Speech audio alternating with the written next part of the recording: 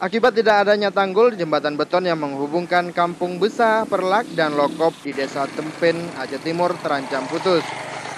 Di bagian ujung jembatan tanah mulai amblas dan retak. Dikhawatirkan longsor semakin meluas jika jalan dilintasi kendaraan berbadan besar. Warga mengaku longsor di bagian ujung jembatan sudah berlangsung sejak tiga tahun lalu. Namun karena tak kunjung diperbaiki, longsor terus meluas dan mengganggu pengguna jalan saat menaiki jembatan. Warga mengaku akibat ujung jembatan yang amblas ini, sejumlah pengendara juga terjatuh di lokasi ini.